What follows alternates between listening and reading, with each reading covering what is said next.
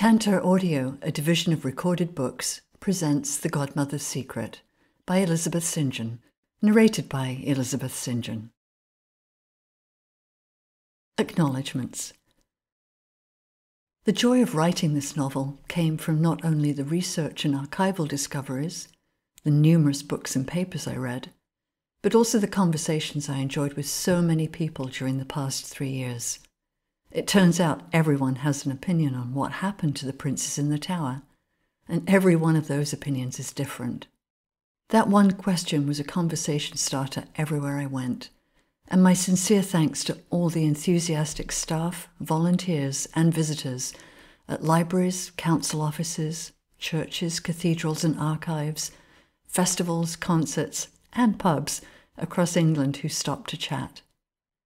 Special thanks to members, staff, and volunteers of numerous societies and locations, including the Richard III Society, the Bosworth Battlefield Heritage Centre, the King Richard III Visitor Centre, the National Archives, the Tower of London, Bolton Castle, and Middleham Castle, as well as the Friends of Lydiate Park. And a special thank you to those who kindly invited me into their private homes and libraries, sharing their own family histories. So many people threw their time and energy into reading various drafts ad nauseum. This was not an easy novel to write, and a huge thank you to my brilliant writer friends, Chris Abazos and Amy Maroney, who absolutely walked this journey with me and saved me from giving up on several occasions. Also, thanks to the entertaining and ever truthful Thursday night writing group at San Diego Writers Inc and my wonderful beta readers of Linda, Judith, Karen, Deborah, and Sandy for their generosity in sharing their own unique expertise, questioning motives, and providing positive feedback. Incredibly special gratitude to my extraordinary editor, Jenny Quinlan, who rescued me from plot holes and stayed the course when I had no clue where I was going. Finally, my heartfelt love to my family and friends who've travelled with me, checking in and cheering me on. Emma, my darling girl, thanks for always being on the road with me. My website is www.elizabethjstjohn.com. The Lydiate Archives are a unique digital collection of objects, records, reports, and ephemera documenting the thousand year history of Lydiate House and Park, created by volunteers with a passion for preservation and accessibility. The Lydiate Archives are managed by the Friends of Lydiate Park an independent charity formed to protect, conserve, and educate people about this beautiful historic estate with its Palladian house, ancient church, walled garden, and rolling parkland. www.thelydiatearchives.org.uk www.friendsoflydiatepark.org.uk Main characters St. John. Elysabeth St. John, wife to John Jack Scrope, 5th Baron Scrope of Bolton. Oliver St. John, Elysabeth's brother, married to Isabel Scrope, Jack's sister. Beaufort. Margaret Beaufort, Elysabeth and Oliver's half sister, married to Lord Thomas Stanley. Wells. John Wells, Margaret and Elysabeth and Oliver's half brother. Tudor. Henry Tudor, Margaret Beaufort's son by her first husband, Edmund Tudor. Stafford, Harry Stafford, Duke of Buckingham, Margaret Beaufort's nephew by her second marriage to Henry Stafford. Zouche, Meg Zouche, Elysabeth's stepdaughter from her first marriage to William Zouche, 5th Baron Zouche, and wife to William, Will Catesby. Scrope, John, Jack Scrope, 5th Baron Scrope of Bolton, Elysabeth St. John's husband. Isabel Scrope, Jack's sister, and Oliver St. John's wife. Agnes Scrope, Jack's sister, and Richard Ratcliffe's wife. Ralph Scrope, Jack's cousin, and husband of Cecily of York. The Plantagenets. Edward IV, King of England.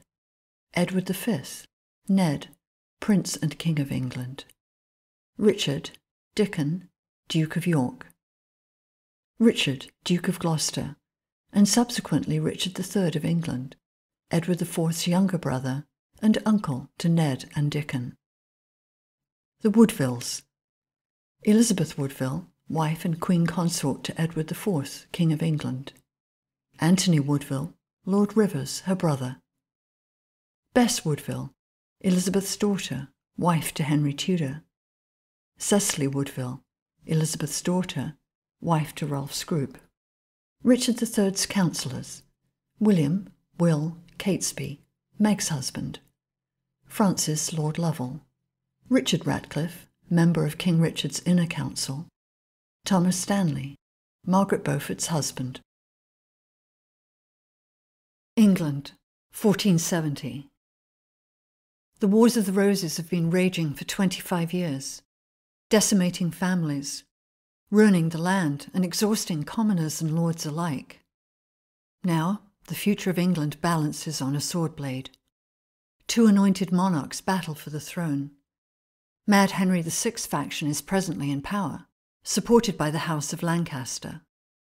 Exiled in Flanders, Yorkist King Henry IV is amassing an army to reclaim England, while his pregnant wife, Elizabeth Woodville, has fled to the safety of sanctuary in Westminster Abbey with her young daughters. King Henry's healthy son is the Lancastrian hope to rule England. Will the House of York greet a new prince to secure its own dynasty? Or does the claim from a young Welsh Tudor challenge England's embattled monarchy? Never before has so much been at stake for peace in England. 1. Autumn 1470, Westminster Sanctuary. A secret has been conceived. Entry, in the name of God and King Henry. My guard clouts the iron-clad door of Cheyne gates, challenging the sanctuary of Westminster Abbey. The Lady Elysabeth Scrope demands entry. A murder of crows startles from the gables, cawing and whirling around my head, and circling up into the clouded heavens. I join three fingers in the Holy Trinity and cross myself head, chest, sinister and dexter. These ancient purveyors of death do not disturb me, for I have not survived this war to be hindered by a superstition. If there were a crow for every dead soldier, England would be a huge raucous rookery. But it never hurts to invoke God's protection. The crows swoop and squabble and alight singly among the gargoyles on the parapets of the soot stained abbey. Like the granite tors of my Yorkshire home, these walls are impenetrable, and inaccessible, and just as hostile. God offers protection to all who claim sanctuary, and men erect walls to keep them safe. No stirring from within, I sigh. Not unexpected. Knock again, I command the guard. Let them know their visitors will not leave. The waning October afternoon trickles shadows into the well of the courtyard. I pull my cloak closer, thankful I had chosen my finest weave to keep the warmth in and the damp out. The sun had shone golden when we rode out from London, but upon reaching Westminster, we collided with the rain clouds streaming in from the west. Fallen mulberry leaves clogged the stone steps rising before me, rotting unswept in the hollows. Someone's not taking care of the abbot's house. It is clear that no one has left nor entered for a while. The guard's hammering is unanswered, and yet, to the right of the door, a candle flame glimmers through a browed window, and a shadow flits elusively. I push back my hood, and a spatter of rain needles my face. Here, gatekeeper, here's reassurance I bear your fugitive no threat. I am of middling age, graceful, fair of face, my countenance pleasing, I've heard say. Hardly a threat. The rain unfurls in sheets. I raise my voice. I'm not asking the Queen to break sanctuary. God knows the wretched woman would make it easier on all of us if she did. I motion the guard aside and edge up the slippery steps to the door. I'm here to join her. My voice competes with the dripping gutter and gets lost under the pitter patter. At the foot of the stairs, my stepdaughter, Meg Zouche, hums with a redhead's restless energy. Her curly hair springs wildly from her hood, laced with jeweled droplets of Thames mist. The Queen thinks to defy fate with a barred door. Meg scowls at the blank and blackened oak. She will admit us, eventually. Even one such as she cannot birth her child alone, I reply. I may not be her choice for an attendant, but a captive has no say in their guard. Tempest blood warms my cheeks. I stand resolute at the door, ignoring the invisible eyes taking my measure. If this time in sanctuary is to be the battle of wills I anticipate, then I must win the first foray. I plant my feet in the composting leaves, ignore the damp seeping from the stone into the soles of my boots, and wait. Bolts grate top and bottom, and the door creaks open. I swallow a last breath of rain washed air, hoarding the fresh scent for the stifling weeks to come, for the Queen's confinement shapes my own prison sentence. Reaching for Meg's warm hand, I cross the threshold into the abbot's house. The splashing steps of our guard fades, his duty done, mine just beginning. And if I fail, and the child dies, I will be shown no mercy from Henry, the king that rules, nor Edward, the king in exile. We are herded like moorland sheep into the cramped entry corridor, and the steward squints down his drip tipped nose and sniffs. Meg glares back at him until he drops his gaze. she may only be nineteen, but she's been mine since she was two years of age, and I have trained her to run a great household. She will brook no truck with an insolent servant. Let Meg practice her learnings on the poor man. He is, after all, the enemy. Escort my mother to the Queen, the Meg commands, and then show me our lodgings. He grudgingly dips his head. Wait here, Dame Zouche. So the household expects our arrival. They just don't choose to welcome us.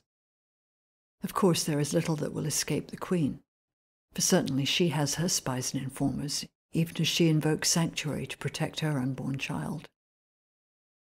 This way, Lady Scrope. I kiss Meg's warm cheek. Make friends with him, Meg, I whisper. We're going to need all the help we can muster. I'll return shortly. She grins and winks. Bonne chance, belle maman. The steward sets off at a brisk trot through a passage that runs alongside the entry courtyard. He does not look back to see if I keep up, nor to extend me the courtesy of a deferential bow, nor even a head tilt that my rank demands. So, this is how we will engage. He leaves me at the open door to a dim chamber, and I pause to let my eyes adjust to the shadows and to reclaim my dignity. I am aware that whoever is in the room sees me before I see them. The lofty wood panelling is underlit by half burned candles struggling in the damp air. At the end of the chamber is a diamond paned window, beyond which the abbey lurks, blocking the waning light. Resting in a high backed chair before the hearth her pure profile dark against the blue flames of a meagre fire, is Queen Elizabeth. I still think of her as Elizabeth Woodville, her belly swollen under a beaver fur mantle. Three little girls huddle on red velvet prayer cushions at her feet, the youngest child perhaps 18 months. So this is the commoner queen and her brace of healthy children. Yet still no male heir to claim the throne. What are the odds this next child is a boy? High, I reckon, especially given the wellspring of prayers God must be receiving daily from the Queen and her followers. The girls are sweethearts, little honey and pink roses quietly curled together like dormice in a pillow. My heartstring is tugged by my own two year old daughter at home in Yorkshire. It was so hard to leave my girl, she is the precious only child of my second marriage in later years, when hope had bled dry. Worse still is the melancholy of my newly dead son, for after his perilous birth there can be no more. I shoo away the picture of his tiny coffin, dig my fingernails into my palms, and firmly close the lid on my grief. Your Grace, my greeting competes with the hissing logs struggling to heat a room with the ceiling so high midnight drapes the vaults. I drop a court curtsy and raise my voice. I am Lady Elysabeth Scrope, wife to Baron John Scrope of Bolton Castle. I am to attend you in your confinement. The truth of my appointment yawns like a gorge between us. The men may fight across hill and dale, but the women draw their own York and Lancaster battle lines across planked and herb strewn chamber floors. The Queen scowls at my rain drenched hem. I did not invite you here. She lifts her face and darts her head forward, spite widening her silvery cat eyes. I did not ask to come. I secret a fist in my skirt, signed to ward off evil. This queen's mother was tried for witchcraft. Her daughter is tainted with the sorcery. I have no proof, but the rumours of how she bewitched the king are enough to convince me it is so. Hmm. And so we are both here against our will. The queen shifts and grimaces, grips the lion head chair arms. Come closer, so I may know the face of my enemy, Lady Scrope. Your husband's family are true to York's cause. You, I hear, are not. So already I enter a skirmish. After all these years of war, there is no truce. Two monarchs claim England's throne, but a kingdom can only bear one ruler. Jack's loyalty shines clear. My husband's ancestors are generations of Yorkshire barons. Mine is as murky as a moorland fog, for I am still in my heart bound by my blood family's Lancastrian allegiance. I stare at the Queen's stomach. I'm sent by King Henry to attend you. Bear witness to your child's birthing. Not a day too soon. She looks ready to whelp at any time. Not so. That lunatic directs you to spy on me, the Queen retorts. No, madam, he does not, I reply. In his madness, he commanded me to far worse than spying. King Henry is but three weeks in seizing the throne, and already his French wife is back in the saddle, riding him to war. And you, she rakes me with scornful eyes, you are Margaret Beaufort's sister, are you not? She whispers in Henry's other ear. Half sister. My correction is trite with use. Margaret has been the celebrated heiress in our family since she was born. Uh, we share a mother. Her father was the Duke of Somerset. Mine was Lord St. John. Or when she's not advancing her Tudor son, she's negotiating favours for her family. The Queen continues as if I had not spoken. And in arranging your marriage, I hear Margaret married you, her widowed sister, to a York ally. Oh, this is exasperating. I'm being interviewed by a woman who has no authority to appoint. I am her gossip and her jailer. Take my help or leave it be. The Queen is owed no explanation of a marriage contract that blossomed from convenience to love. I think not. As a widow, I made my own match, I say shortly. When Lord Zouche knew he was dying, Jack promised to advise me on my wealth, protect my lands. I did not plan on falling in love with my adviser. And so you have made your own match. A nice widow's portion. I'm sure Margaret saw that Jack Scrope was aware of your holdings. The Queen glances at a scrap of crumpled embroidery held up by her eldest daughter, presses a fleeting caress on the princess's cheek. So, Lady Scrope, where lies your loyalty? Where is your truth? With your Lancastrian sister or your Yorkist husband? You have a tangled family, to be sure. Her witch eyes see conflict too clearly. Margaret and King Henry callously move me across England's battle board, castle me with their enemy to watch over her birthing. My marriage to Jack may have been my choice, but this confinement was at the bidding of my king. I could not refuse. And even Jack appreciates the ten pounds that accompanies my appointment.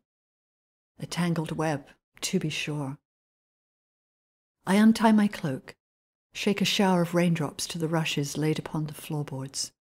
At least these are freshly changed, the leaves still green and pungent from the reed beds. One advantage of this gloomy lodging situated so close to the river.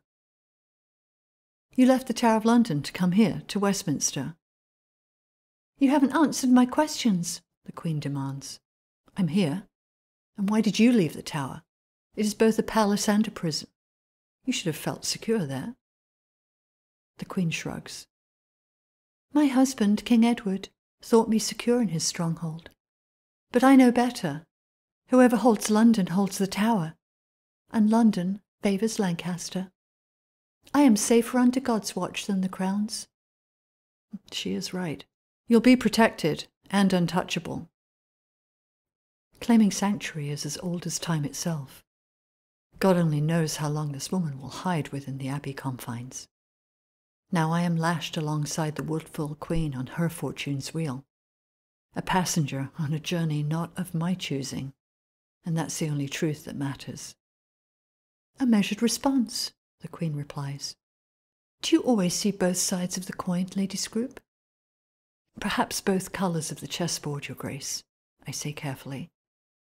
Our lives resemble the conflict of black square and white. Perchance while the kings fight, the queens hold the power. Queen Elizabeth shifts in her chair, peers down at her girls. They are quiet, too quiet in my opinion. I do not think this mother thought much of her daughter's well-being when she fled to Cheyne Gates. I wonder who last sung them a lullaby, cuddled them to a peaceful sleep. I think the conflict is of our rose emblems, of red and white, the Queen says, interrupting my thoughts and returning our talk to the politics that have ruled my world for most of my life. Do not be too assured, Lady Scrope. My husband amasses an army to reclaim our throne. You may consider yourself under the simpleton's protection. But for how long? Choose your colour wisely. You are merely a pawn in this game of kings. I ignore her goading, try to bring our conversation back to neutral territory, for I must impart more news. Don't falter now. Uh, there is another matter, Your Grace, a command from the King. The Queen places her hand protectively over her belly. What design now from Margaret Beaufort and the simpleton, Lady Scrope? I hold out the letter, worn with my folding and unfolding. You know I am to witness your child's birth. Here is the command that the king also appointed me the baby's godmother. On Margaret's advice, this is not my choice. The queen snatches the paper and tears it into pieces, the shreds floating and dissolving into the rushes. Godmother? A godmother is a relative of the blood. Is there no end to my humiliation? Elizabeth Woodville gestures to the door, hands fluttering like moths through the dusk. I will not accept a parasite in my family. You have no right to be here. Get out! My duty, Your Grace, is to ensure you are safely delivered and your child well cared for. Enough of this war of words. I am equally at risk in this place, and I will not let her arrogance rule my destiny. I curtsy to the Queen's turned head. May I suggest you rest now? I'll see you in the morning. I have a responsibility whether this commoner likes it or not.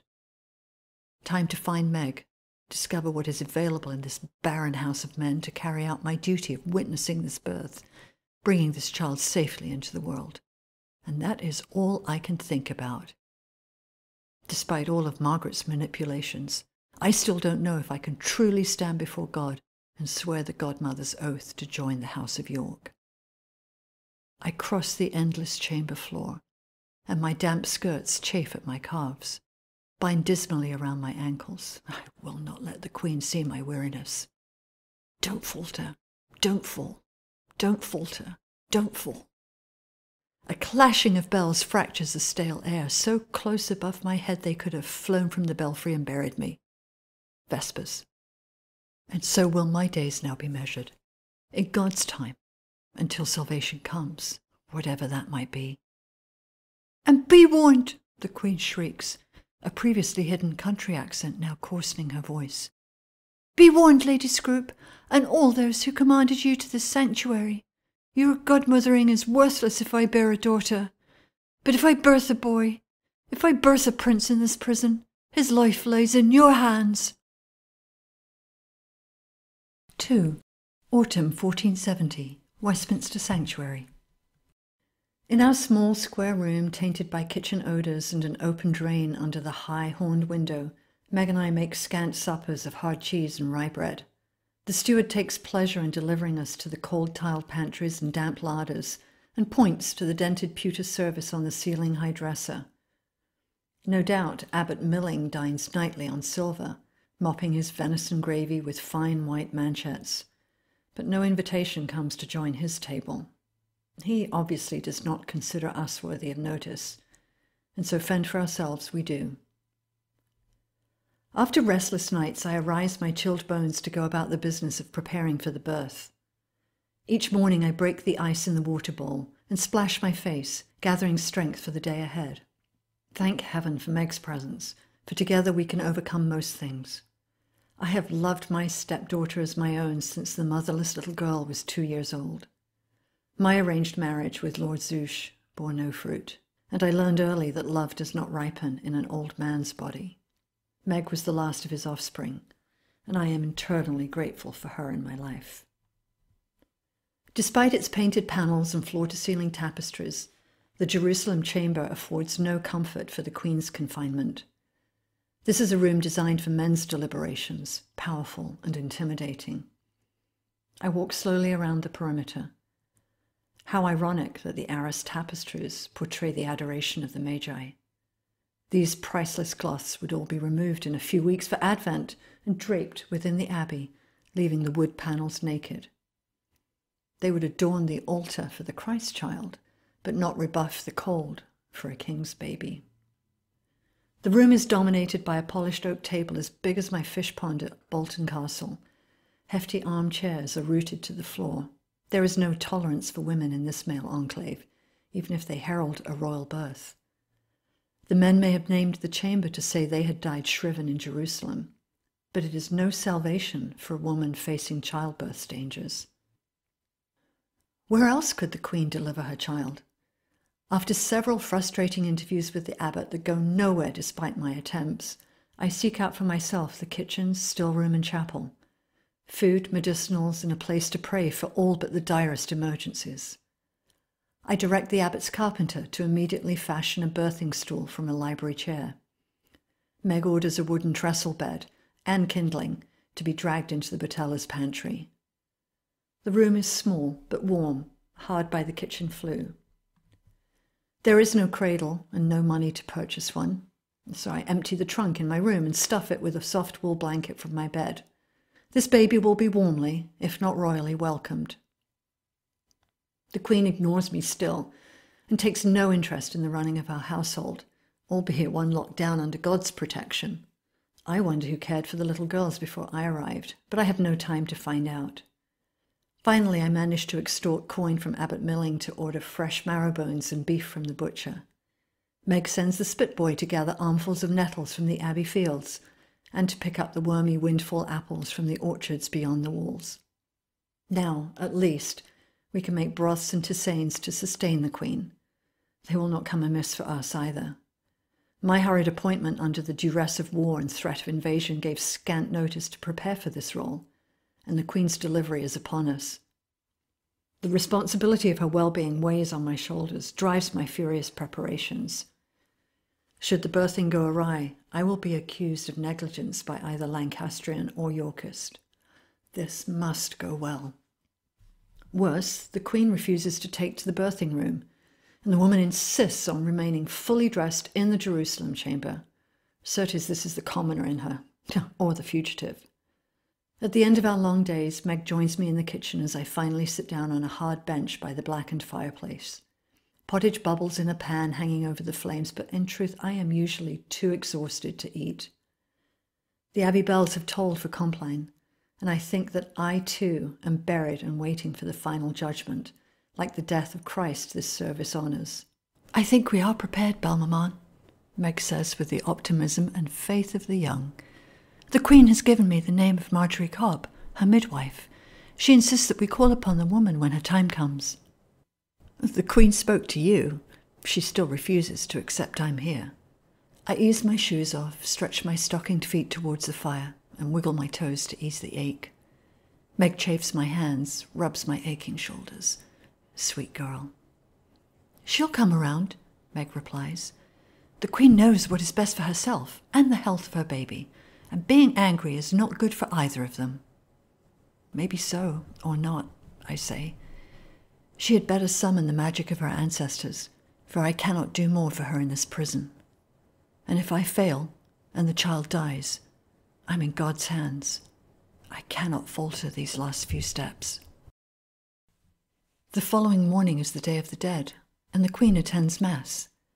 I kneel at her side before the simple altar in the icy Gates chapel, the spirits congregating around us. The wax white face of my own infant hovers like a vision under my eyelids, suppressing every prayer, bringing forth hot tears of guilt on my frozen cheeks. Meg takes my hand, her familiar touch comforting. I am praying to the Virgin for your lost child, she whispers. My stepdaughter understands the nightmare I inhabit. My son's empty cradle. Jack's empty eyes. God grant him protection on his first All Souls Day, I reply. Blessed Virgin Mary, take care of my beautiful boy. Oh! The Queen crosses herself and attempts to rise. She sways, clutches the base of her spine. She grips her gown between her legs. A dampness spreads from her pelvis, darkening the green velvet to black, puddling on the floor before her. I meet her eyes. Your baby comes. We must go to your birthing room. The Queen stands proud. I will go to the chamber. My child will be born in Jerusalem. I stand taller. If you go into labour in that miserable hall, your child will be born dead. And I wait. The Queen rocks on her feet, and then gasps as a birth pain clenches her in its fist. She lifts her crucifix to her lips, murmurs an Ave Maria. I lock eyes with her. Get on, woman. My life depends on your child's survival. Come, Your Grace. It is best for you. Your husband would want you to care for his heir. It is not your place to tell me when to leave. The Queen has already delivered three children. In my experience, this birth could go quickly. It's not safe for you to stay. I turn to Meg. Please send for the midwife. Tell her to come quickly. The Queen gasps as another birth pain doubles her over. I must remain to hear Mass. Enough, Your Grace. We must go now. Three more birthing pains of increasing frequency, and the Queen shuffles forward. As if she has a choice and all the time in the world, she lets herself be walked haltingly from the chapel to the womb like room and lays down. It is a bad omen, deserting God, the Queen moans. Where is Goodwife Cobb? She is the midwife, not you. I ignore her words, build up the fire, and heat a tisane of chamomile. As the toll marks the end of Mass, Meg returns, and the midwife arrives in a swirl of fog and wood smoke with her bag of scissors and linens and vials of mugwort and pennyroyal electuaries, a rabbit's foot, and St. Margaret's birthing girdle to ensure an easy labour. The crone smells strongly of her workroom spirits, but her hands appear steady. The relentless abbey bells mark the longest hours. The room is so dark night loiters within. The scent of purifying lavender oil mingles with stinking melting tallow and smoke from the damp logs.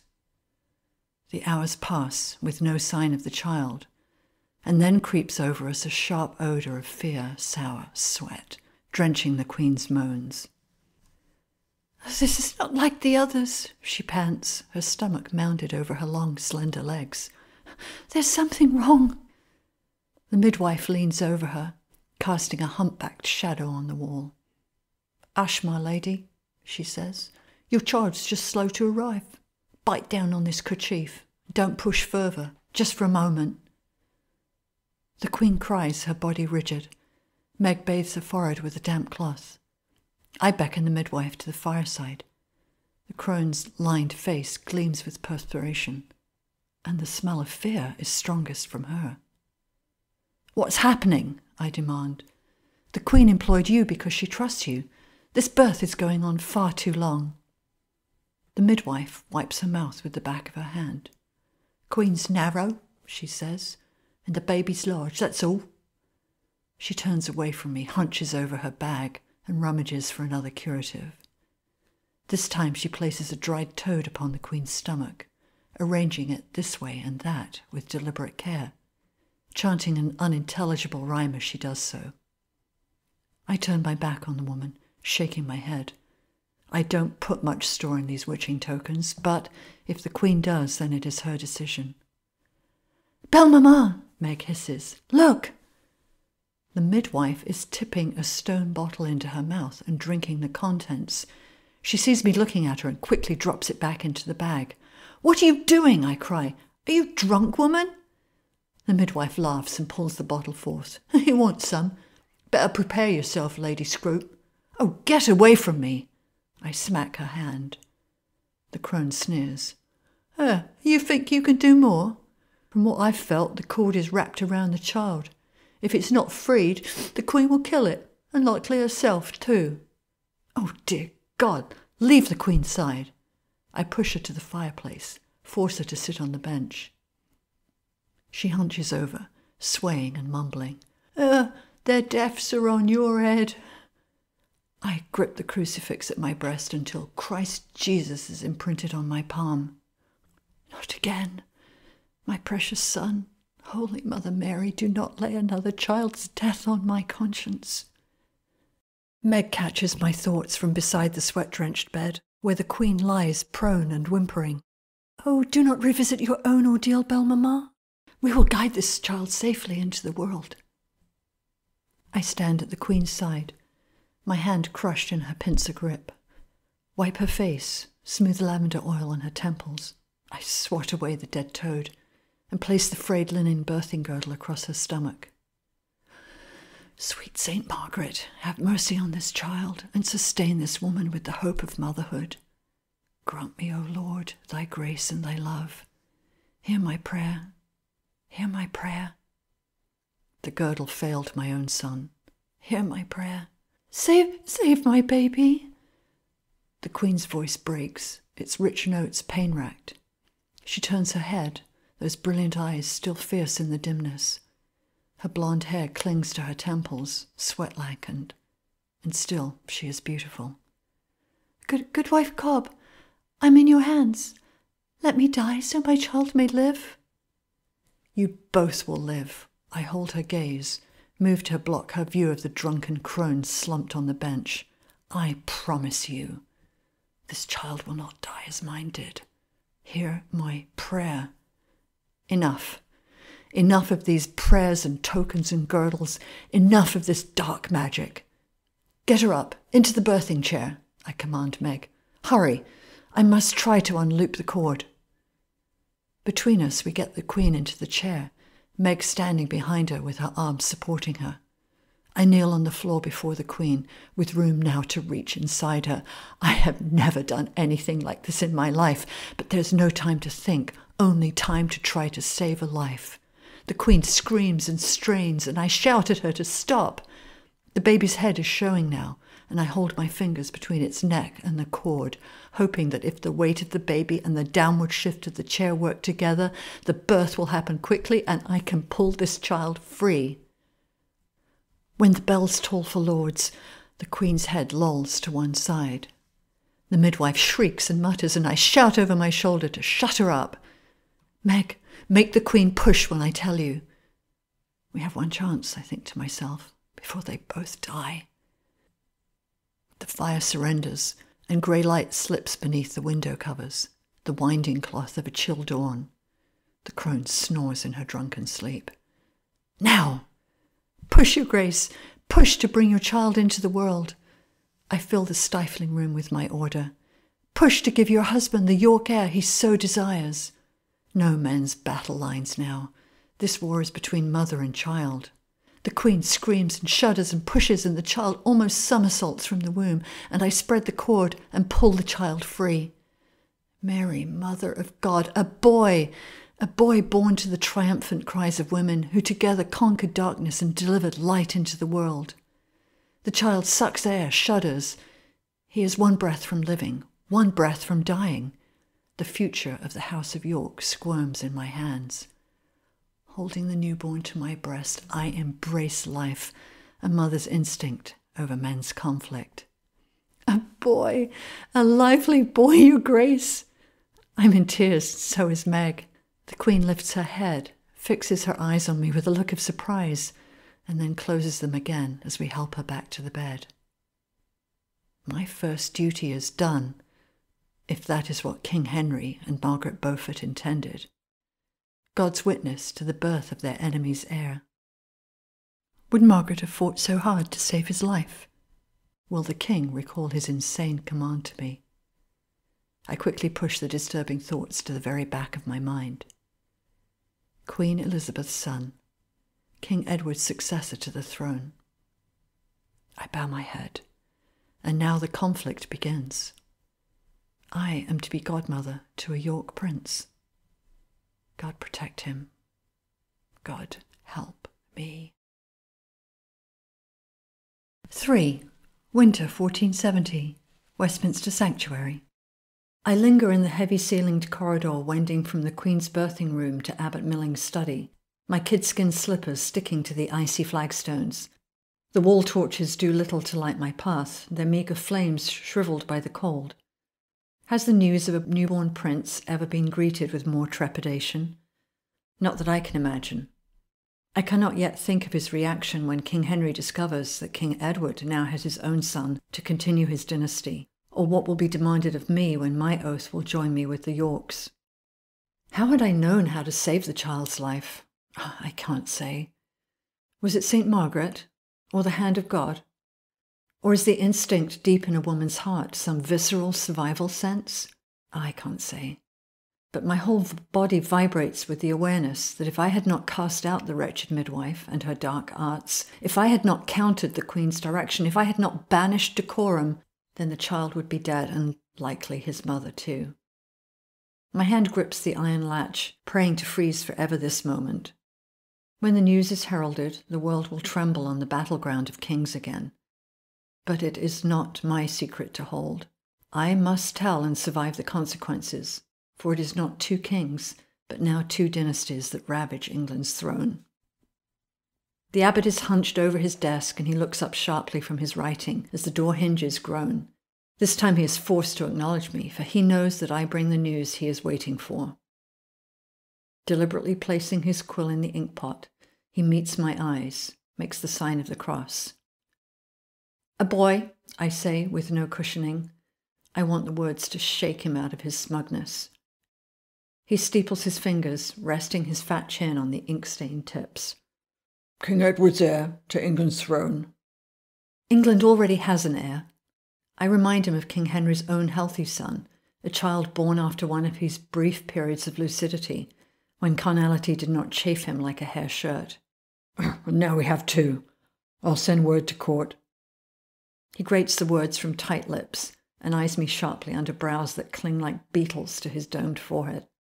But The Queen, how fares she? I shrug. Well, she is already sitting, suckling her newborn like any farmer's daughter, and still does not speak to me. Abbot Milling pushes himself away from his desk, lifts a parchment to read by a great branching stand of candles, beeswax at that. King Henry's orders appoint you the child's godmother. He squints at me in the glare. Are you, are you prepared to swear the solemn oath that this role brings? Stand at the font and pledge your loyalty and life to the York heir? I bow my head. As my Lancastrian king commands, as my York husband demands. God knows my heart is entwined with both. But where lies my own loyalty? I cannot say yes, and yet the ceremony approaches. The abbot takes my gesture for agreement. He is used, no doubt, to women who have no voice. Indeed, prepare to stand before God with true loyalty in your heart. He sees everything, including the promises of false witnesses. He looks beyond me to the door. Go, go and tell the Queen we shall baptize her child within the abbey. I'll, I'll stand as godfather. The abbot picks up his quill again, returns to his scratching. Go, on your way. I have no intention of leaving. This may have been the longest conversation I have had with this so called man of God since I arrived, but I am not done. The bells ring the passing hour. Dear Lord, when will I get used to this relentless tolling? Abbot Milling? I count until the clashing ends, force his gaze up to me. This honour was bestowed upon me by King Henry himself a week ago at the Palace of Westminster. I have his attention now, for his fat cheeks redden, puffing like a toad under a heron's threat. I would thank you to pay me the courtesy my rank demands. I may struggle with my inner conviction, but I will leverage my new position. He examines a speck on his gravy stained gown. Your rank is tied to Lancaster's fortune, for as long as it lasts. I ignore his jibe. At that same audience, King Henry recognized his namesake, my nephew Henry Tudor, as his heir. I would say my fortune rides on both the Lancaster and York wheels of destiny. I am aunt to one heir, and as godmother I am considered a blood relative to the newborn prince and King Edward. Your role is official. Mine is personal. And just like that, I am elevated above him, now a member of the royal family, and a woman he must defer to. Satisfied, I leave the odious man squatted amongst his earthly luxuries, contemplating his own fortune's wheel that has rolled over his perquisites. Whether he is for Lancaster or York, he is most uncivil, so confused is he for his own vacillating loyalties. But sadly, this is where the wars have brought us all, looking first for division before reconciliation. Outside his study, in the dark corridor, I slump against the wall, the uneven stone blocks cutting into my back. The bracing cold air is now welcome, the dampness of the old foundations reminding me we are just a mere hundred paces from the soaring splendour of Westminster's banqueting hall. Just a week ago and a lifetime away, Margaret brought me before King Henry in that same building, where noble Lancastrians assembled to welcome the return of the victorious king and his French wife. My sister and my nephew were given a family's place of honour. The king's watery gaze rested on me as I looked for signs of his madness, for in truth, it was his brain fevers that have left our country in such shambles. No frothing at the mouth, no rolling of eyes. He seemed perfectly normal. She will suit the position. His voice was soft, mild tone. An excellent suggestion, Margaret. He waved his hand vaguely in the air as the matter closed and abruptly leaned forward towards Henry Tudor, standing tall between us. Ah, you are a fair young man, named in my honour, and I foresee a noble future in your face. The Tudor and Lancastrian blood in you runs boldly. The hall fell quiet, his words silencing the chatter. Henry Tudor humbly knelt, and a whispering rustled around the courtiers as the king reached forward and raised him. After my beloved son, uh, you are my closest male relative, my child. If God chooses to take him on the battlefield, you will be my heir.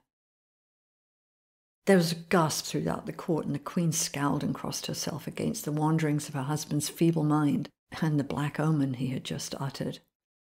Well, that should make Margaret happy. That's as good as calling Henry the heir to the throne if anything comes of the king's son. I turned to my sister.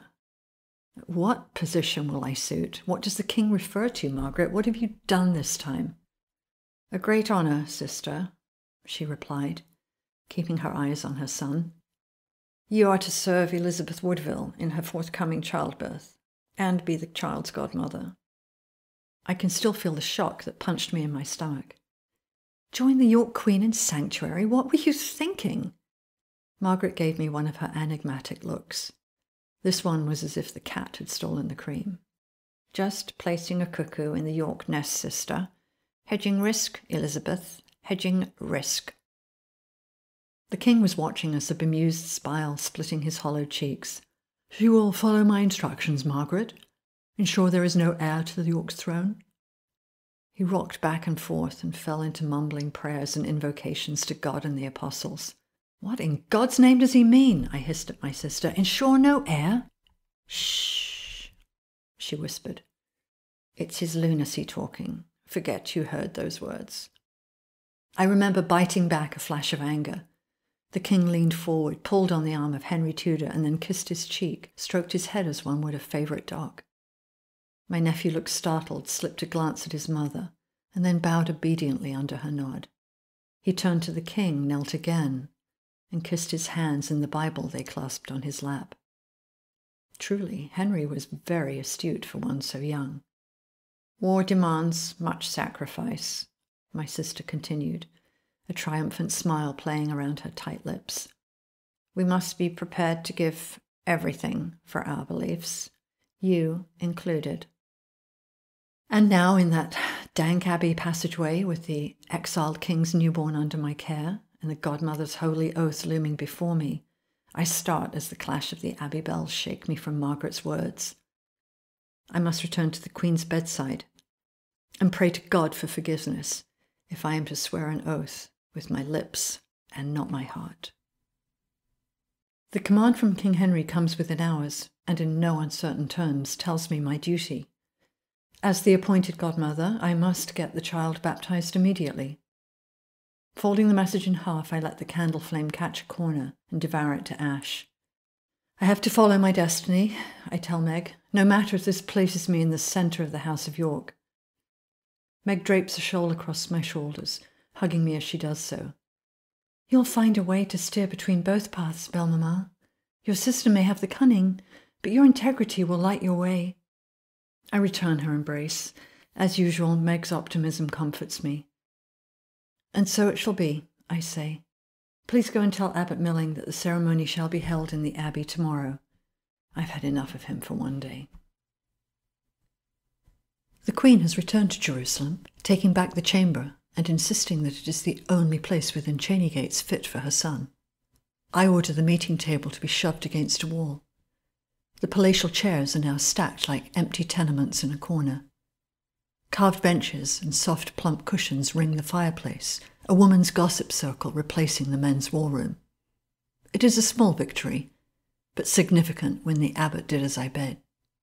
The tapestries are back from their duty in the abbey and have been rehung in this lofted room to keep some of the draughts away.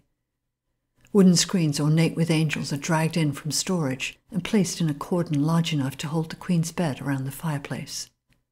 I insist the floor cushions remain, for now she has deprived the rest of the room from the fire's heat, I do not intend Meg and the little princesses to freeze under the decorative but useless arras tapestries. It is a struggle, but the Queen concedes. As I slip around the screen, the Queen looks up from nursing the babe, her breast full, her nipple rosy under the child's pursed lips. A sharp pain pierces my own bosom, where just a few weeks ago I had brimmed with milk. It's time for the prince to be baptized, Your Grace. I come straight to the point. I have no interest in flowery court language. And I suppose you're still appointed his godmother? The queen caresses the child's cheek as he suckles. It is a tragedy that I have no choice in my own son's godparents. I will not show her my own struggle against my role. I have no choice either. The king wishes him to be baptized immediately. I push away the terrible thought of King Henry's fatal wish for the boy child that I had refused to obey. The queen's face lightens for a moment before she realizes I mean King Henry. It is of no business of his when my son is baptized. She is brazen in her dismissal. The king most certainly takes a deep interest in the son of his enemy. I continue.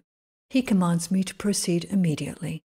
I have already told Abbot Milling to make arrangements. I reach out my arms, but the queen does not lift the child from her breast. Instead, she holds the baby closer, half turning aside. You have no loyalty to me or my husband. Why should I think you would devote yourself to my son? I ignore protocol and sit on the bed next to her. Because if it was not for Meg and me, your son would not be alive today. The Queen whips her head up. Marjorie Cobb is my trusted midwife for life. She knew what to do. I stare at her. Marjorie Cobb was drunk and resorting to magic. She would have delivered my child safely. She would have killed you both. The baby stirs against her breast, turns his face towards me. For the first time, I see his perfect features and pink cheeks. Something shifts inside me in answer, a deep tremor within my own womb. My godson, my son from God. God has granted me a son to love as my own lost boy. I let my words fall around her and softly stroke the baby's tuft of golden hair with my fingertips. The first touch of him sends a warmth through my body, soothing the ache in my linen bound breasts. The queen does not move him from my touch as she kisses his forehead. I gather strength. Perhaps this is St. Margaret's final gift to me. Entrust me your child, your grace. I will swear to you that which I swear before God. I will protect him from evil, show him the light, and prevent those who would hurt him from ever doing so. The Queen hesitates, and I let her come to her decision. She has little choice, after all, but best she think it is hers to make. She lifts the child and places him in my arms, his sweet rosebud mouth still mewling for his mother's milk. The Queen meets my eyes, and I know we are both thinking of the night he was born, the decision I made that saved their lives. I sniff his hair, taking a deep, warm breath of God's miracle. This child has survived because of me. We are forever linked now on our shared wheel of life. You'll be safe and beloved, my prince, I whisper, safe and beloved. Abbot Milling meets us at the door to the abbey, and although I am relieved to be away from Cheyne Gates, we are as meagre a procession for a prince's christening as ever could be imagined. Meg has fashioned the Queen's ermine lined cloak into a robe to keep the baby warm, for the day is bitter from a freezing east wind, and our breath wreathes like spirits in the brittle air. Before he allows us to enter the abbey, the abbot makes me open the prince's mouth so he can place grains of salt on his tiny tongue to keep the devil away. He has already tested me in the prayers I must recite, the Ave Maria to prove my worthiness as God's mother on earth to the prince. The little princesses accompany their brother as part of the baptismal procession. Four year old Bess of York solemnly carries the chrism. Such a humble ceremony in such a grand setting. No doubt the Queen chose to give birth within the sanctuary of Westminster Abbey intentionally, knowing that her child would be baptized among kings and that the shrine of the confessor would be the backdrop for her own Edward's anointing. Nothing surprises me about the Woodvilles, for they are masters of manipulation and will approve of this staging. No choir, no audience, no nobles, nor clergy. Just me, a Lancastrian appointee, and the abbot and prior, all paid by the king to surround the York heir with those loyal to Henry's rule. And yet, as I stand within those hallowed walls, and lift the lighted taper to signify God's grace, perchance this child represents hope, not conflict. A feeling of peace warms me as I hold him and swear the sacred godmother's oath to protect him from all those who wish him harm. Perhaps, I implore in my own silent prayer, perhaps he will be the healing of our nation, not the tearing apart. Perchance there will be no longer warring factions, no need to claim loyalty to York or Lancaster. Perchance, just as Jack's and my child would have joined our houses, this child is the future peace of England. And maybe war will cease before it reaches these sons of kings. And somehow this generation will end the conflict of their forefathers. For is it not always the mother's prayer to hope for peace for her children? Little Bess holds the chrism aloft, her sweet beauty shining in the dim light of the great abbey, her gaze fixed on the baby. My brother Edward, Prince Edward of England, the princess whispers. Her innocence and joy brings an unexpected warmth to this solemn ceremony. My little Ned. Whether her mother has told her to say this, or it is her own childish thought, I know not. But her simple words hang in this burial ground of kings, this holy pilgrimage site, and drift into the very fabric of the royal banners that adorn the stones.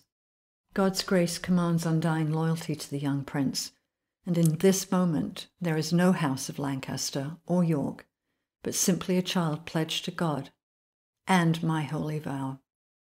Jack would say this young family might be the healing of their nation. I pray to God he is right. For now I am confirmed as the prince's godmother.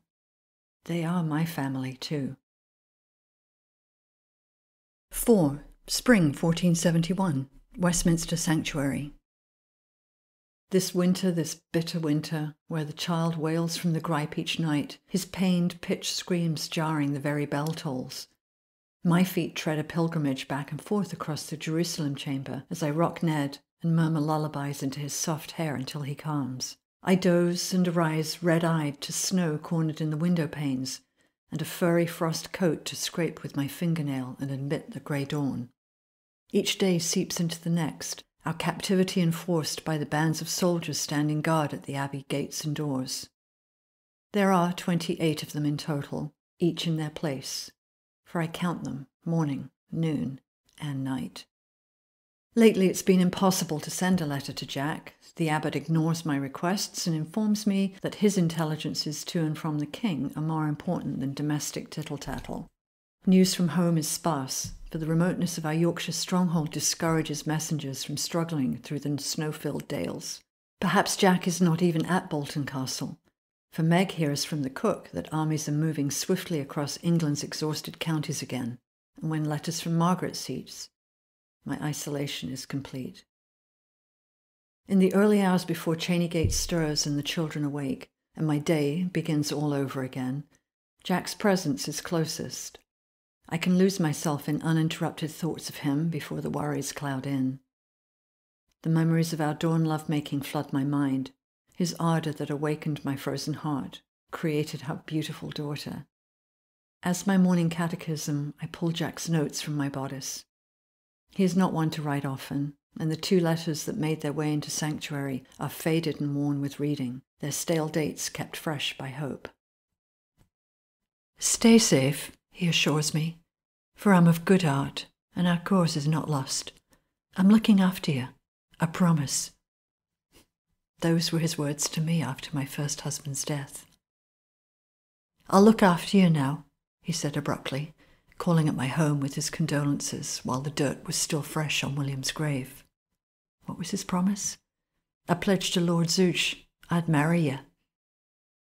What neither of us admitted was the strength of our attraction to each other, the not daring to believe that perhaps there could be a future, that time and fortune's wheel had aligned.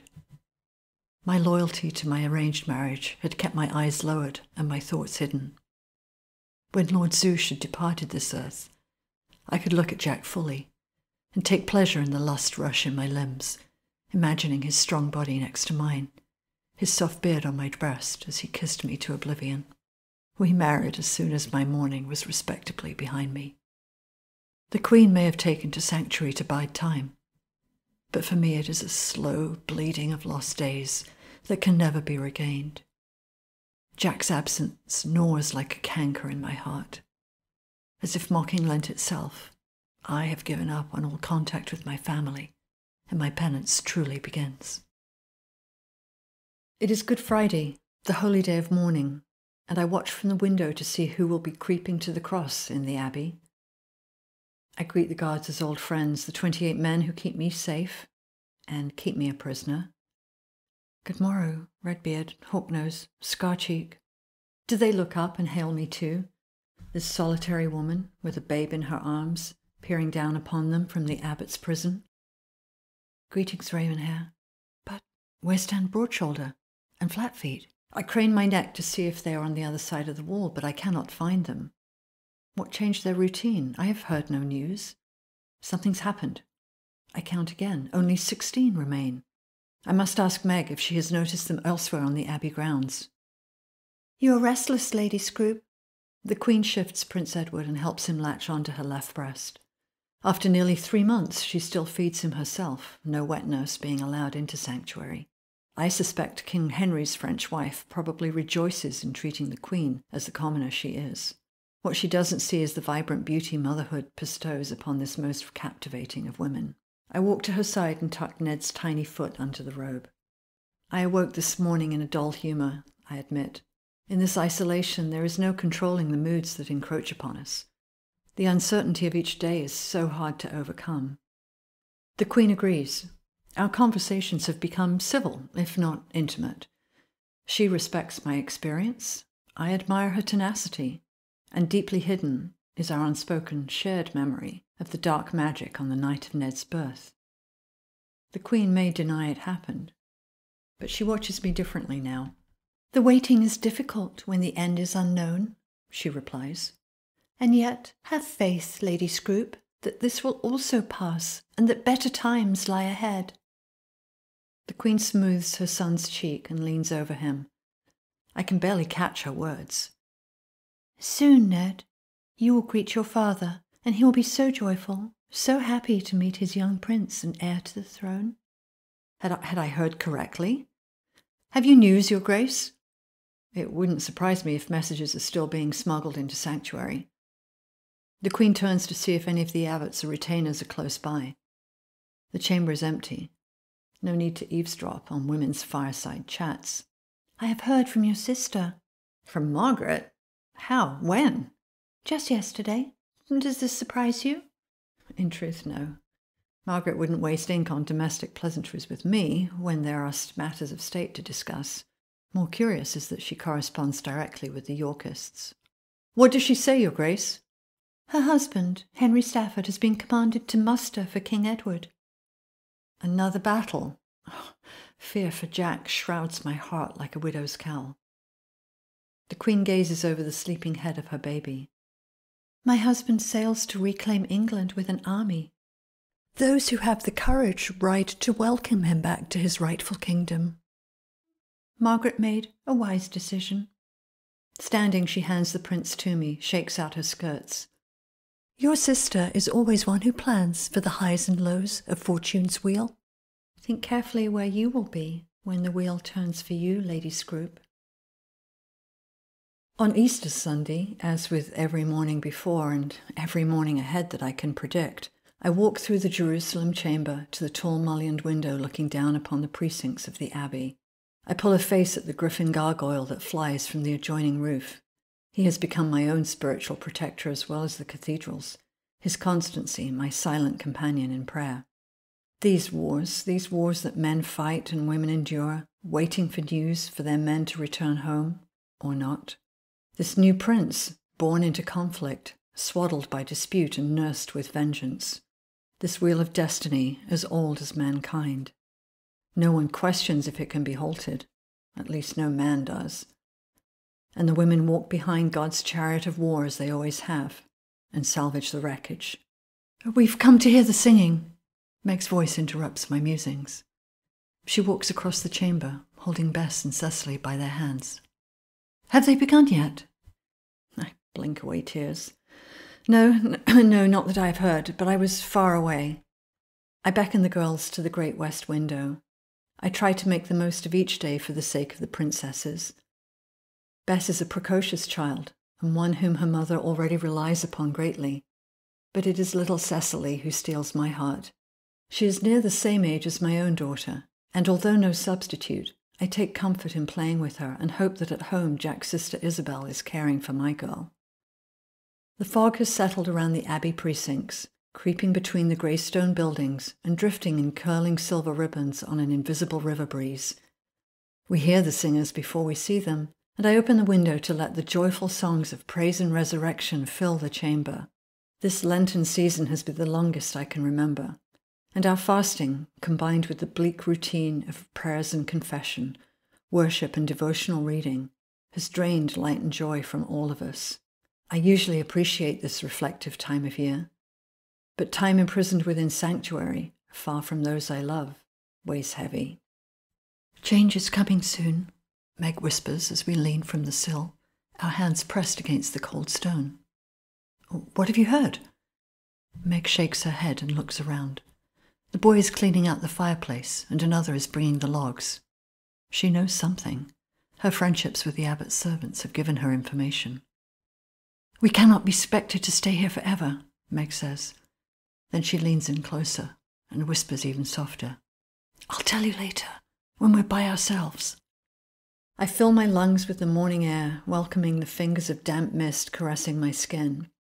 The singers walk under the window towards the west door of the abbey, their sweet music gradually fading until the morning enfolds them and silence rolls in.